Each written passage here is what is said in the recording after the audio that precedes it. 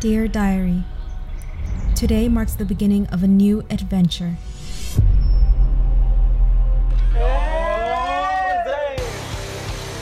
Despite how determined I was for this, I need to find my own way. There's actually something else I want to talk to you guys about. Well, what is it? And a new start. A girl? Bro, what, you supposed to be the smooth one. I got my ex killed. Maybe I just want some advice. She's probably still looking for it, especially if it's a diary.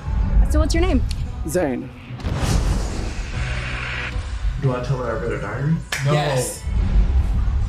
Look, no. You don't want to freak out. Just pretend you didn't see anything. Chicks dig with your guy. If I just took things seriously for once, maybe she'd still be alive, you know? Does she even want that?